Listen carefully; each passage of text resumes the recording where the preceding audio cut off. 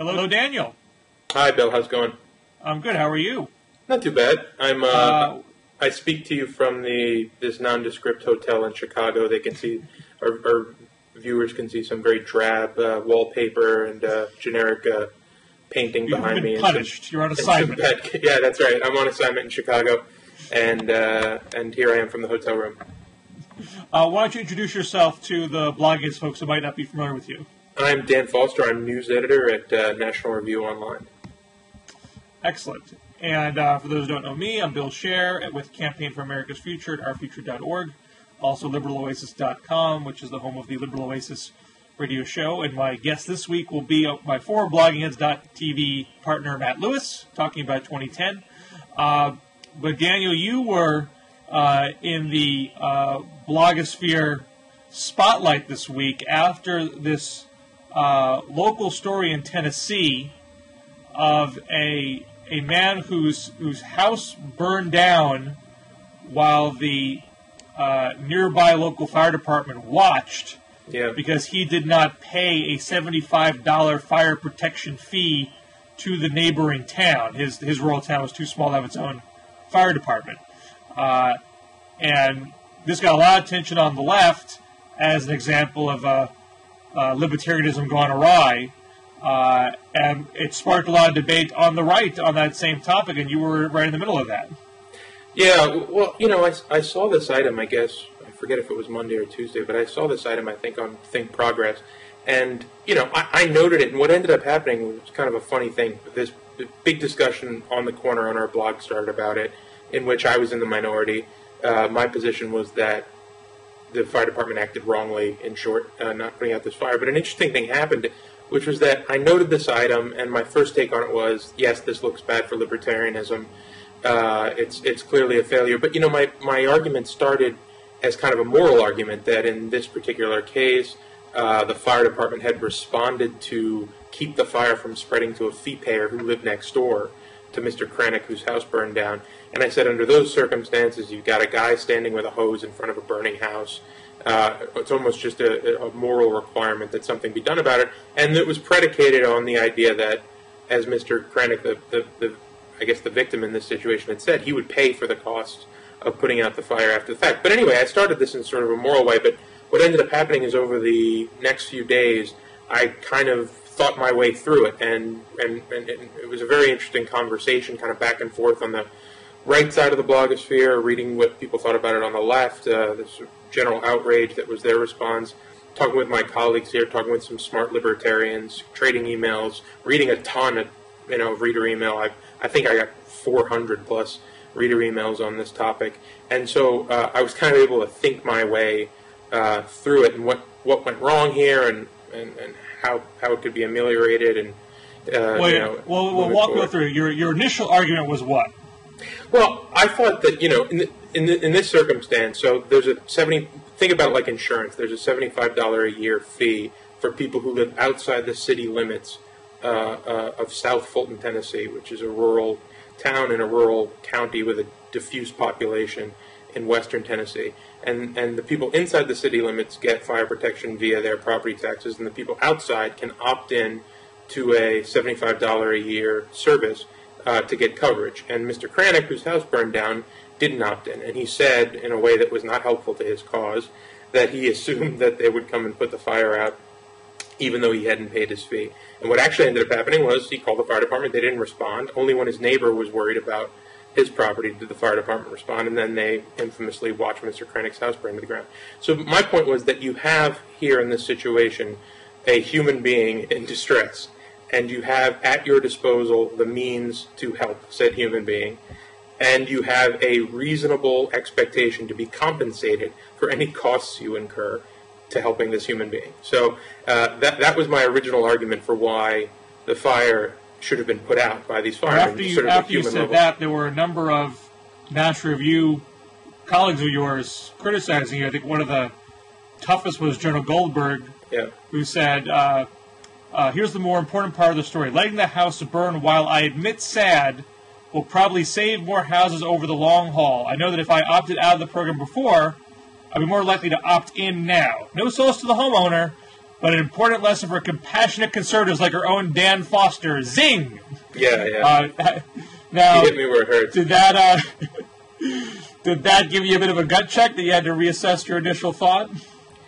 Well, you know, I, I I even said in my original post that I have no problem with this kind of opt-in government. I mean, fire departments were private throughout most of the 19th century in most areas of the country, and in this case, if the if it really were, you know, one house per 10 square miles and some, or some really diffuse population, it was hard to get government services around, then a pure opt-in would make sense. But at the end of the day, as I said, I sort of thought my way through what to think about this in the ensuing days.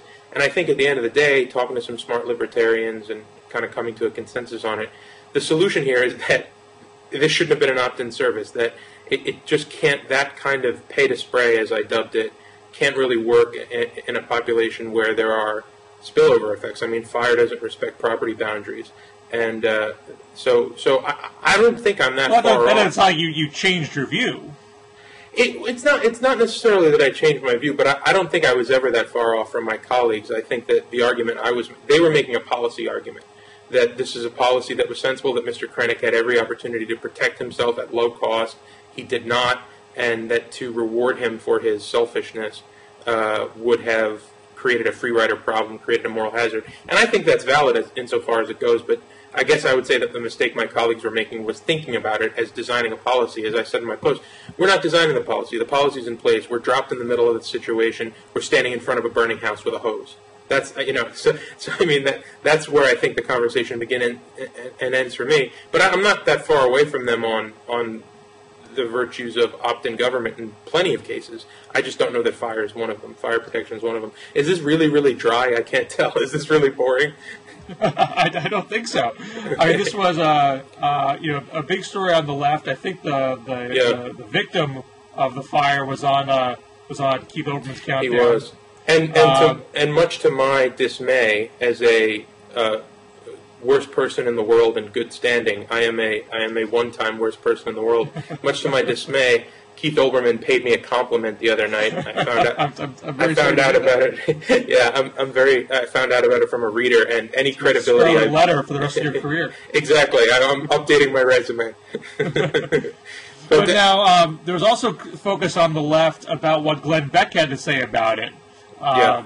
He said uh, the other day, uh, "Here's the thing: there, there's just those that are just on raw feeling are not going to understand. If you go on to compassion, compassion, and pa- compassion, or well, they should have put it out. What's the fire department for? If you don't pay the seventy-five dollars."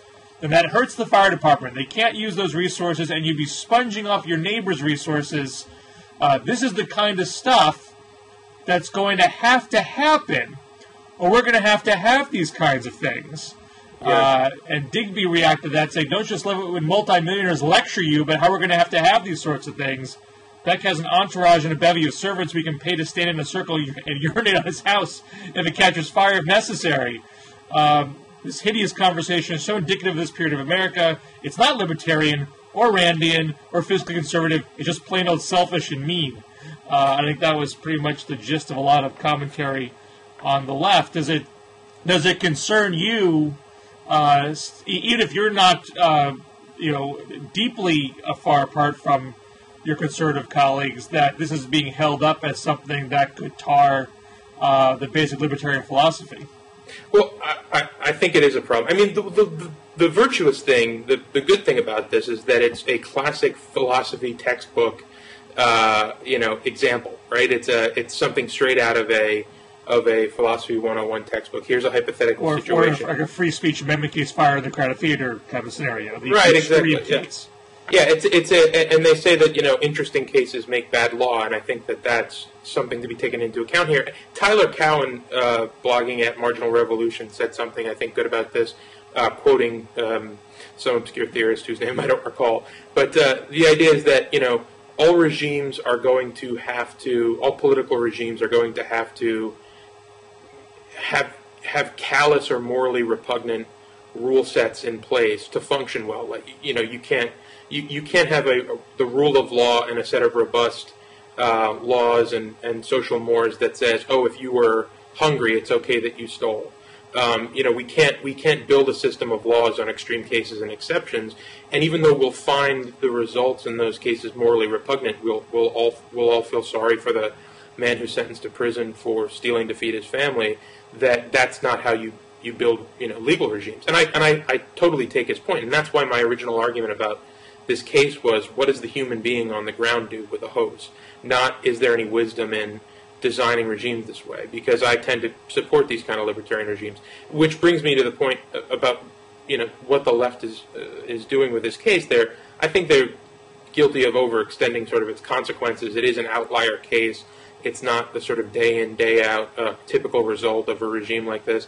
And the the, the speedy go to analogy here uh, was healthcare, universal healthcare. Chris Hayes on on Olbermann was making the point that this is this is an argument for single payer healthcare. I mean, I don't think those those cases are analogous. I was I was a big opponent of Obamacare. I spent three months of my life blogging about nothing else.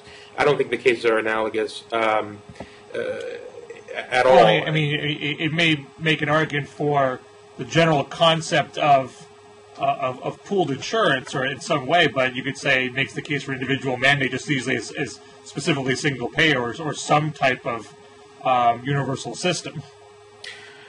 Well, you know, I, I, the, the, the big thing, and again, I, I, really hope this isn't putting our viewers to sleep, but the big thing to me about Fire is is that have you fire, watched Blogging Heads before? the, the, the thing to me about about about Fire in this case is that it's closer to uh, air or national defense. These are classic examples of what economists call non-excludable public goods, and I think protection from fire is one of them. Healthcare not so much unless we're talking about the you know the bubonic plague. I mean, if we were if we were to only you know let's say there was some huge outbreak of a virus, deadly virus, Ebola, pick what you like, in the United States, then it would be in our collective self interest to inoculate everybody, right? We wouldn't worry about who had insurance and who didn't. But most healthcare is not like that at all. I mean, if you smoke, you're going to get lung cancer. Those costs shouldn't be socialized. You know, I, so I'm, I'm, I'm still, and, and the vast majority of cases are just like that. And, and, uh, you know, things like public safety, protection from fire, security, the enforcement of contracts, these are the bread and butter libertarian these are the bread and butter things that libertarians believe the government should do. And you know, my libertarian phase was something I dabbled in in college, like a lot of other people dabble in recreational drugs. Uh, I would, I would, I would now consider myself a libertarian-leaning, libertarian sympathetic conservative, but I'm not, I'm not that hardcore of a libertarian. But I think in a lot of these cases, you know, uh, we're not that far apart on on these issues. But that's what that's the main difference to me is I think most healthcare decisions, most healthcare problems are not are not public goods in that way. They're not public in that way, period. And that there it's much more important to maintain a structure of personal responsibility uh, so that those costs aren't socialized with a lowercase s. as a as a partial segue to our, our next topic, which is going to be the flop between uh, Joe Miller, the Alaskan Senate candidate, and and uh, Todd Palin. Uh, you, you mentioned that maybe liberals were overextending the argument, uh, but uh, it, it, seems like there are a lot of Senate candidates like Joe Miller who are saying pretty absolutist things. You know, Joe Miller says right. that unemployment insurance is unconstitutional, and Medicare is unconstitutional, and Social Security is unconstitutional, uh, and electing senators uh, for, by the people should be unconstitutional by repealing the Seventeenth Amendment. Um, I, it not? I totally agree with him on that one. that's, an inter- that's an interesting topic, but uh, that, yeah, that, but that was the downfall of the country. I agree, um, but uh, it, it, would seem not not uh, out of line to say this is the type of vision a lot of these candidates seem to want to have for the country. Does it not? Well, there's a big. Di- I mean, there's a big difference between what these folks say as expressions of their principles and what's possible in the current institutional environment of the United States Senate. I mean, I think that uh, again, the big thing that not, not the thing that separates me from them on a lot of these issues. I think I would agree with Joe Miller on most of the things that you just said. The thing that separates us is probably just the pace at which we'd want to see those things change. I mean, I'm an old Edmund Burke gradualist at heart, and I think that uh, we can't sort of radically transform this country into a libertarian utopia overnight, or a small, you know, or even a, a you know, sort of 19th century version of America, small government version of America overnight. So I would agree with those things in principle, but I mean, I, I don't think anyone really has to worry about a kind of slash and burn government where uh, these old structures are overturned overnight. There's there's going to be 99 other senators besides uh, uh, Joe Miller uh, who, who, are going to have a say in these things. So I, I mean, in, insofar as it's interesting to talk about, I think yeah, these guys are small government constitutionalists. They're not hiding it. I think that's to be commended. I agree with them on a lot of issues, um, and it makes you know good fodder for conversation. But I, I wouldn't worry about a a uh, drastic upheaval in, in the next year of, of the current size and scope of the welfare state. Uh, one of the uh, you know maybe less policy uh, minded stories of uh, this election week, uh, interesting from a, from a blog perspective. Uh, you had this kerfuffle between Joe Miller Uh, in Alaska and Todd, uh, Sarah Palin's husband, Todd Palin. Um, uh, correct me if I, if I, if I have my facts wrong, but okay. Joe Miller was initially asked on TV if he would endorse Sarah Palin for president, and he kind of gave a, a, roundabout answer, wouldn't answer it directly, saying there are lots of good candidates and stuff. Uh, this somehow got translated to Todd that he said she wasn't necessarily qualified. Todd fires off an angry email to Joe Miller and several uh, of his aides, and this uh, small email uh, email chain, because Joe Miller responds, is essentially saying, "Holy cow! I can't believe Todd Palin is you know uh, losing his mind over this." Holy cow is a direct quote, actually. um, there's something charming. The, the, there's something charming about a guy who uses "holy cow" in personal emails. You know, I was. I, it always reminds me of a story. I, one of my good friends is just a, a, a you know, mouth like a sailor, Italian stockbroker from Jersey, so he just has a really dirty mouth. And we were walking down a street in New York City one day, and we were crossing a street. We had the, we had the, the green light, and a cab, you know, zoomed up and missed us by about five inches. And my, my buddy turned to the cab and screamed at the top of his lungs, hold your horses. I just, I just, you know, it's, there's something charming about uh, uh, Joe Miller using "holy cow" in that situation. It will get more attention in New York City than actually swearing. yeah, that's right. Uh, so, sorry, I interrupted you. That's okay. Uh, so this email exchange ends up in the hands of an Alaskan blogger, uh, uh Jeanne Devon at um, the Mudflats, also gone by AK Muckraker. Right. Uh, her stuff's been on Huffington Post uh, a lot as well. she she posts the PDF of the email exchange. She kind of half redacts the email addresses so you actually can still uncover them. Right. Um, so at least confirms the authenticity of the exchange. Um, and so this blows up, and and Palin responds not by talking to a traditional media outlet, uh, but by feeding a short ex- uh, statement to the Weekly Standard website. Right, Matt Continetti. Um, and uh, well, I think there's a little bit more to the story than that, but just the, the whole thing essentially is, is existing in the in, in the online world. Uh, and does this have any kind of implication uh, on the right as far as uh, how the Palins carry themselves? Does it feed this notion that they're kind of a um, constant circus and they can't just straight up and fly right and be seen as serious political material? Um, or just just being dismissed as you know uh, a minor incident that will be forgotten in 24 hours. Well, I think insofar as I mean, we haven't spent at the at National Review Online, we haven't spent much time writing about it. I think it is muckraky and it's not especially newsworthy, but insofar as it has been spoken about on the right, I mean, it's interesting, but I don't know that it's newsworthy. Insofar as it has been talked about on the right blogosphere, it's it's been the standard. Um, here, here, here they go again. Here the mainstream media goes again. You know, exposing personal email addresses, uh, trumping up this story, trying to turn it into a story about Sarah Palin's presidential ambitions. Um, you know, so it's been it's been. And there's line. a sense from the emails from Todd's email that makes very clear that she has presidential ambitions. That's sort of one of the interesting things about it that kind of uh, unveils that.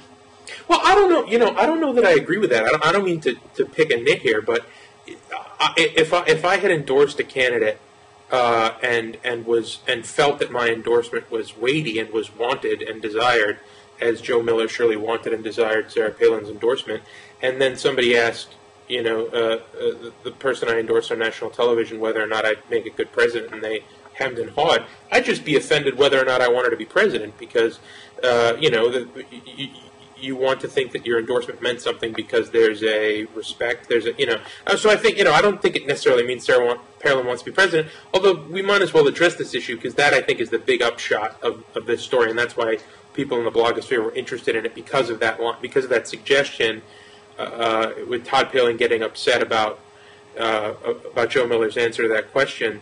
Um, you know, that's been the upshot. Oh, Sarah Palin really wants to be president. I think it's clear that Sarah Palin wouldn't mind being president. She said as much. I mean, she said if if if, if I didn't think that there was anybody you know, I'm paraphrasing here, but if I didn't think that there was anybody better qualified, if I was chosen, she's used that sort of language. If if the duty fell to me, I would run for president 2012. But I think she knows exactly what's going on, which is that all the polling done uh, suggests that she's uh, very, very popular uh, with uh, a, a, certain very broad block of, of, voters on the right and center right, and very, very unpopular with uh, the rest of the country, which leaves her somewhere between 35 and 40 percent, most of the polls that I've seen as a potential presidential candidate. And she knows that she's not going to win under those conditions, and she's playing wait and see. I don't think she's stupid. I don't think that she would run a, an unwinnable, uh, you know, tilted windmills campaign.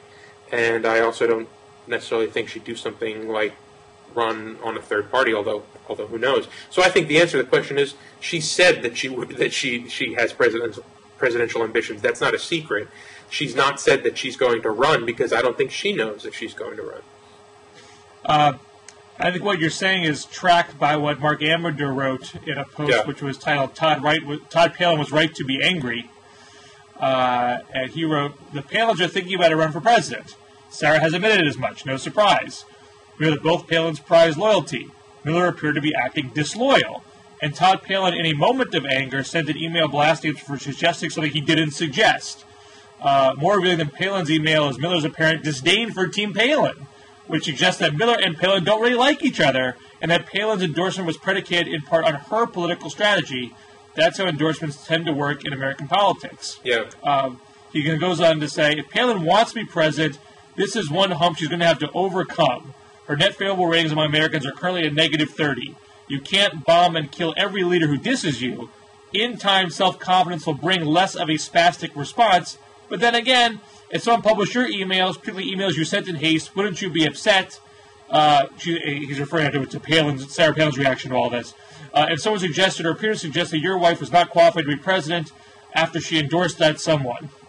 Uh, right. So I think that's sort of in line with what you're saying too, correct? No, it's, it's exactly. Uh, unfortunately, it's exactly what I said. Marc, and Marc Ambinder, Marc Ambinder said it better. Uh, so yeah, I mean, I think that's I think that's right, and I and I and I think that uh, you know the the as you said the statement that Todd Palin fed to the Weekly Standard was that look, this is a non-story. We crossed our wires. There was a misunderstanding, uh, and and we're going to move on. But one of the things that Ambinder said that I think we need to uh, zero in on uh, because again, it's fun for us to to write and talk about this, but we pretend as if this is not how political endorsements work in this country.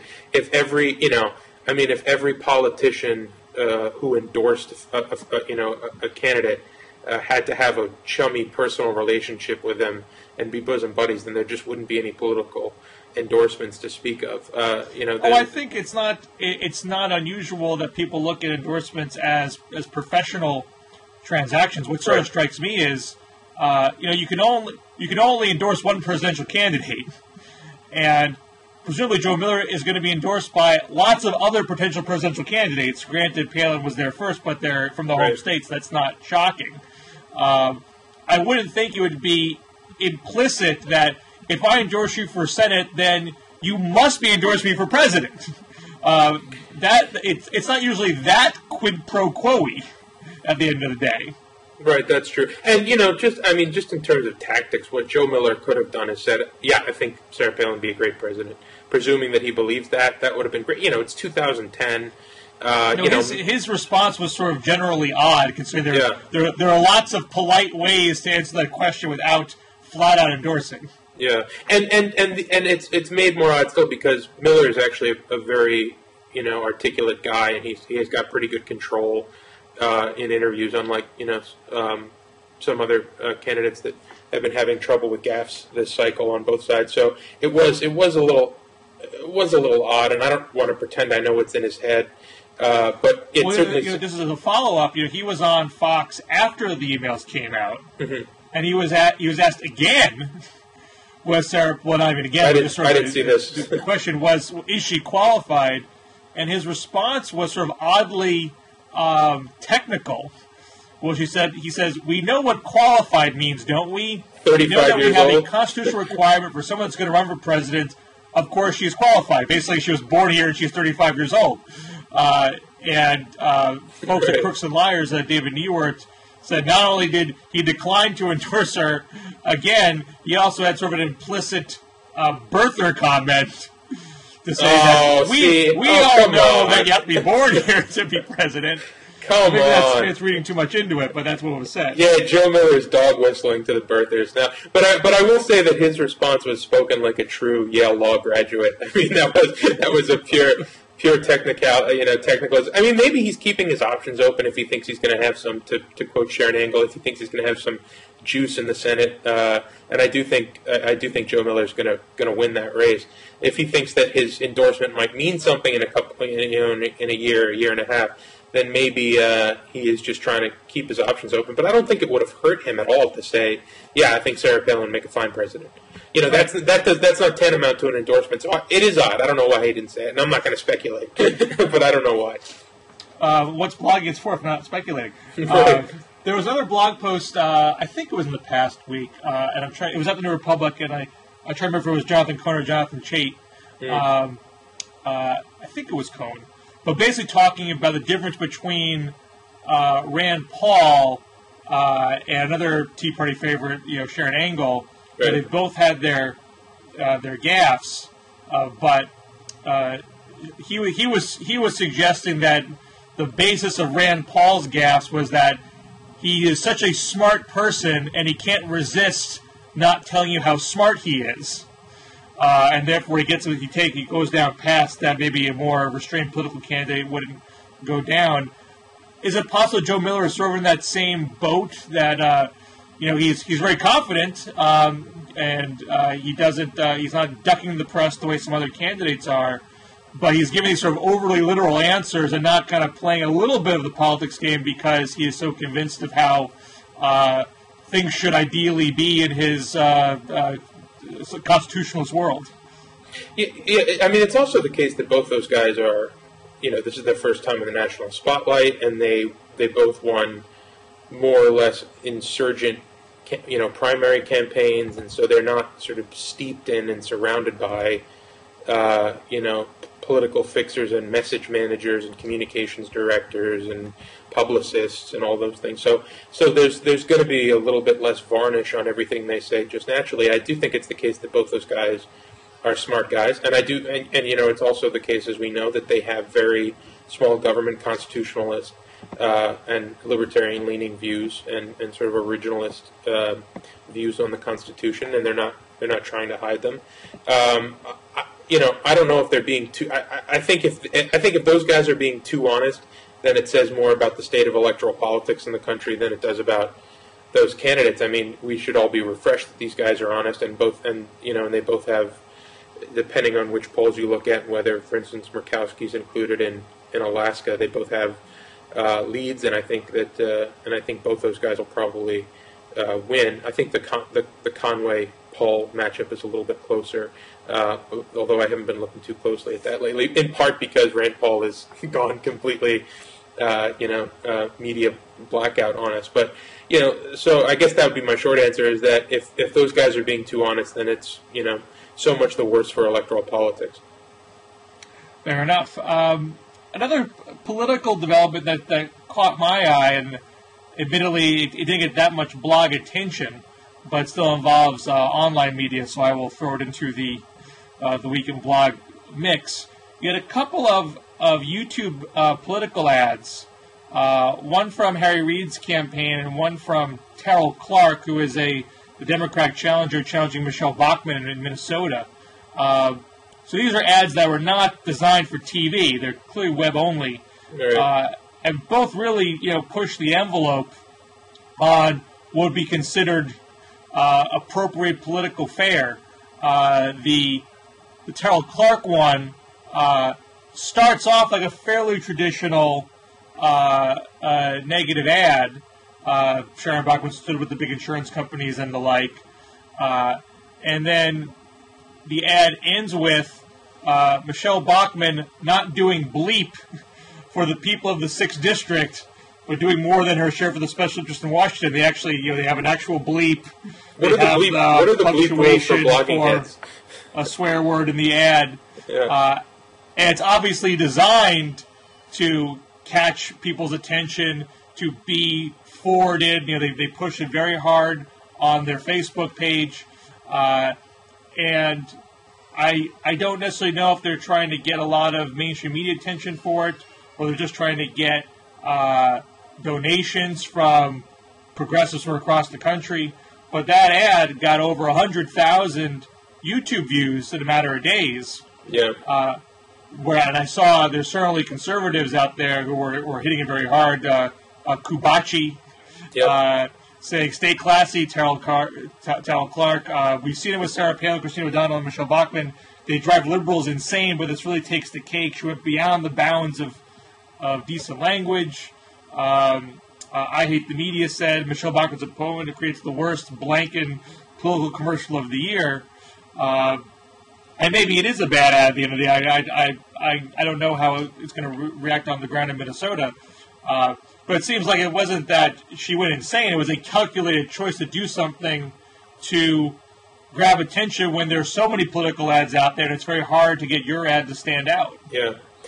Well, I think that there's there's a lot to be said about. I think we'll look back at the, the, the 2010 midterms as, if not a golden age for political advertisements, then some sort of you know some age. I don't know if gold is the right golden is the right adjective there, sure I agree but with that. This might actually be a golden age. uh, right. Uh, but but uh, Demon sheep age. Ex- that, exactly right. That's what I was going to say. Is that demon sheep early on in in in, the, in, in the, this election season set the tone for sort of wacky, out there, web-based, viral video targeted um, advertising, and, and and I think both the the Reed video you mentioned, which is in a lot of ways too. I mean, I think that the the, the, the anti the, the hit ad on Bachmann is is is interesting and perhaps over the line because it has that, that, that bleep word there. Although it's you know it's, it's going to get people's attention, and I don't I don't I don't know uh, that that there's necessarily going to create any kind of backlash. Although she's running six or seven points behind Bachmann, but the the Reid ad is something different. We talked about this off air. Is that is that it you know it's it's odd that Harry Reid, you know the entrenched incumbent, um, would would do something so risky. I mean, and would it's got weird low production values, and it's kind of all over the place, and it's not particularly well structured. Well, it had- just to describe this, this is an ad narrated by Rita Rudner, who people might remember as a longtime stand-up comic, and now is is Vegas-based and is one of the more prominent, uh, you know, hotel shows there. Uh, and it's done as a uh, in, a in a cheesy infomercial style, Sharron Angle's Crazy Juice. Uh, and uh, and there's a lot of inside jokes in there. You really have to be watching probably Yeah. very closely to get the references yes, that's true. and But- which which said to me this wasn't intended to be you know a, a carpet bombed out all across the state. It's trying to appeal to um, you know uh, political junkies uh, across the country. But you might see that a, more likely strategy for Tarryl Clark. Here you are, you're you're a challenger. You're not hugely well financed. You're up against uh, uh, someone who has a lot of national support with conservatives across the country. What can you do to elevate yourself? You know, throw a long ball. Right. Reid's in a very tight race. Um, I, I assume he's well financed. I don't. I wouldn't assume he's out of money. Um, Right. so uh, I don't totally understand what the logic would be behind it, except that uh, anything you could do to keep the narrative that Sharron Angle is crazy, which is clearly what the overarching narrative of that campaign is. Um, uh, you could argue where push any front you can to maintain that narrative. Uh, so you, know, you could sort of say, you know, Harry Reid is, you know, a total nitwit to do this, or you could say Harry Reid is a mad genius, and he's not afraid I to mean- take a risk, even though he is the Senate Majority Leader. I mean, we'll see. We'll see, right? But I, my colleague uh, Jim Geraghty in his in his daily uh, newsletter today said something uh, pretty funny about about Harry Reid, the race that Harry Reid is running, which is that Plan A was coast to victory on the success of the stimulus bill and healthcare reform, and that was thrown out the window pretty quickly. And Plan B was to demonize Sharron Angle as crazy, outside the mainstream, uh, and, and and too extreme, which is this is sort of a, a bit from that playbook, but his more his more conventional attempts to do this and to paint Sharron Angle that way have not necessarily worked. And he's in, in the last two polls that I saw, he was two and four points behind uh, behind uh, Angle. And so you know, it's getting to the point now where well, even that's a success when your approval's in the 30s. Well, I guess, I guess, but that's I mean the most interesting thing about the I guess the CNN poll that came out yesterday, or the day before, was that you know you have at, on the ballot line as a, as a Nevadan, you have a none of the above ballot line, which I right. which I think is uh, I think is great, and I wish I wish every state had that. And you know, none of the above is just in one poll, but in one poll three weeks out from the election uh, is polling at ten percent, and the Tea Party, you know, it, whether he's real or, or a fake Tea Party candidate out there, is polling at seven or eight percent. So you have, I mean, you have an incumbent Senate Majority Leader well financed, as you said, who's running at 40%, you know, uh, in, in, this race. I think he's getting desperate. So I think it's it might be closer to this is him throwing a, a Hail Mary than uh, than uh, than we than we initially thought. Um, I think he's yeah he's gonna he's gonna sort of you know throw everything he can up against the wall and see what sticks. Uh, I'll just just to close off the segment. I note that his YouTube has only got about four thousand views, whereas the Tarryl Clark one got hundred thousand. So uh, the yeah. you know the cheap swearing got more traction. The one I think was actually a more creative ad, which was using using Rita Rudner, um, but it didn't have quite it didn't have quite the same newsy value. You you, you could run an ad saying Tarryl Clark uses profanity in ad. That's a news headline. Right. Harry Reid uses a um, you know edgy comedic ad is not a succinct headline uh, right, didn't move right. as much virally, at least not yet. Right. It's. I mean, it's more calibrated, right, to be an internet meme. It's. You know, it's. It's. It's got a lot of, as you said, inside jokes and things tossed in there. It's more calibrated for the, for the, you know, for the YouTube uh, uh, generation and the YouTube demographic. But I, I, don't know how that helps Harry Reid in Nevada. I don't know that his reelection hopes turn on, uh, turning out, you know, twenty-something internet savvy irony junkies who, who like the you know slap chop uh, infomercials and like to see good parodies on, on silly infomercials. I don't think that, that, that those that the demographic that's going to save them. So I don't. Well, really I, I presume. I mean, Reid is running a campaign, which I mean, let's not pretend this is the only ad he's running. You know, he's got right. No, no, sure. He has a very broad uh, uh, campaign strategy, and when it's a close race like that, you want to squeeze at every demographic you can. I imagine. Right, and I mean, then this was presumably cheap. Although I don't know how much I don't know if he paid Rita Rudner or not, but uh, it's just it's a it's a very odd it's an odd campaign season uh, via you know via ads via uh, you know in terms of who's funding these ads. Um, you know, everyone's coming out of the woodwork. The five hundred one c threes and c fours are going nuts. Uh, it's a it's a very bizarre uh, cycle, and we've from Demon Sheep on we've just seen one weird ad after another. People getting beat up at campaign rallies. It's just you know it's a very I mean it's a very unusual cycle and it's it, only three weeks left. Uh, so so at least we won't have to uh, put up with it too much longer. I, I, find it wildly entertaining. I don't know what you're upset about. no, I'm just a, I'm an old curmudgeon, man. I just I want I, I can't wait for my Republican majority to, to get into the House and start start doing some governing. That's what I look forward to. It's, it's, it's very high-minded and responsible of you. uh, um, uh, so one last topic before um, we, we we call it a day. Um, uh, Bob Woodward is still on his book tour uh, for Obama's Wars. I actually know he's going to be, uh, or maybe he already has by the time this airs, uh, on Firedoglake's Book Salon. Uh, Bob Woodward never someone a huge, never had a lot of love from the liberal blogosphere, so I thought that was an interesting choice yeah. on both parts uh, to have him for their, their weekly book salon. but Marc Ambinder, who we mentioned earlier, who blogs at the Atlantic, and I believe he's moving to the National Journal by the end of the year uh, really spearhead their, their, their broadening political team. Uh, he took a real tough shot at Woodward, writing an essay uh, in the parody voice of Woodward, um, mocking his style for uh, mind reading the thoughts of others. Yeah. Uh, and uh, you know, a, a set, I mean, really, he really, I mean, basically, Ambinder seemed to really take journalistic offense that Woodward was taking a bit of, of gossip, uh, not terribly well sourced, that Obama would replace Joe Biden with Hillary Clinton in, in 2012.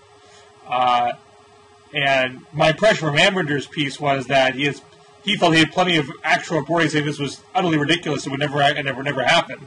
Right. Uh, and in the in the piece, uh, Ambinder writes again. This is in Bob Woodward's voice. Quote: I can't believe Woodward would say something like that. Ambinder told his editor Bob Cohn over coffee in Cohn's Watergate office the next day. Quote: Yeah, he knows next to nothing about the president's actual relationship with his vice president and secretary of state, or that he's done no reporting on the question at all, which is absurd because Woodward is a reporter's reporter. Then again, Ambinder thought privately, one of the senior policymakers who's played a starring role in Woodward's latest book had characterized its conclusions as, quote, 60% right and 40% completely wrong, unquote, and that was from a policymaker who came across favorably in the book. So Right. he, he, he not only takes a shot at the at the Hillary nugget, but kind of takes a shot at the, the entire book. Yeah, there, well, there's, there's a few things to say about this. One is that I think that post was stylistically spot on. I mean, I thought that, that Marc nailed it uh, with just that tone. And there's, you know, there's a line about about Ambinder taking a, a, a sip of his tepid water, you know, and and, it, and it's not just the Woodward books, you know, and maybe this is just professional jealousy. As a, as a matter of fact, I'm I'm pretty sure that it is uh, professional envy, but. But I mean, when I read when I read Woodward, when I read when I, when I read uh, last year Sorkin's book Too Big to Fail on the financial meltdown, you, there are these little, you know, they tell you what the, you know, tell you what the the, the CFO of Merrill Lynch ate for dinner on Tuesday, uh, and that you know the pasta was undercooked.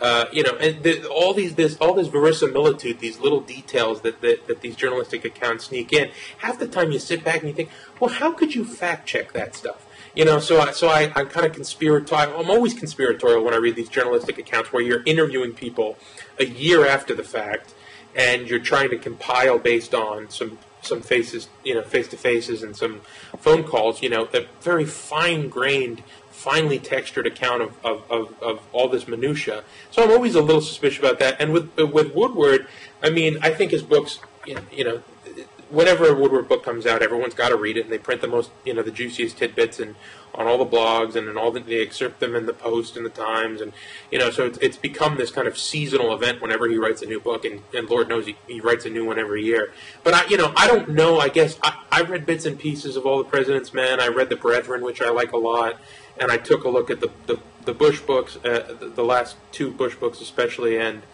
and I, and I, I have my review copy of, of Obama's Wars, and I've taken a look through it. I mean, he's really, really good, but but there is that question that he's just you know he's a one man machine, and and nobody can nobody's really checking up on his work. So Marc takes it one step further and suggests that you know this is just bald speculation, uh, you know, checking it against the historical record. Uh, that this is just bad speculation, and you know it, it, might- it might be true, uh, and and who would know? Because it, it, it's exactly as he said. He's Bob frickin' Woodward. You know who's going to call him on it? I, I was impressed by Ambinder. I mean, Ambinder to turn this piece out, it would have to be within a day Yeah, of Wood making the, the Hillary comment. yeah. And Oh, you know, there's a lot. You know, we see this from the Times columnists a lot, particularly Tom Friedman and Maureen Dowd. These these these attempts to be funny by writing in the voice of somebody else, yeah. and they're they're usually so painful, Terrible, terrible. so forced. And so for Ambinder to kind of get the Woodward tone spot on on the fly, I thought was. Uh, I mean, from, from, from a stylistic standpoint, fantastic. Right. But your point, as far as you know, substance of it, I mean, I mean, a- anyone who's been around as long as Woodward has, you might eventually have certain things catch up to him. Uh, you know, one wonders if people might start to look at these books more skeptically if a post like this really, really. I, this just came out. Uh, this post came out um, uh, yesterday, so I don't know if it's really gone super viral yet. Um, uh, you know, because basically there's been a knock on Woodward for a while that you know whoever talks to him the most gets the favorable treatment, right. and therefore you're not really getting a true. And whoever talks to him first. What's that? More, whoever talks to him first, almost as importantly, right? Right. Because they set they sort of set the contours for how he's going to interpret, you know, you know, counter narratives that come later down the road. The first, you know, the first depiction of of, of events uh, is you know is always the one that you base revisions on. You know, so that's true. People are kind of there's you know stories about how high-powered officials in Washington are falling all over themselves to talk to Woodward first, so that they can Right. preempt what their political enemies are going to say, and they can preemptively, you know, counter the charges that they think are going to be leveled at them and shape the narrative in their direction.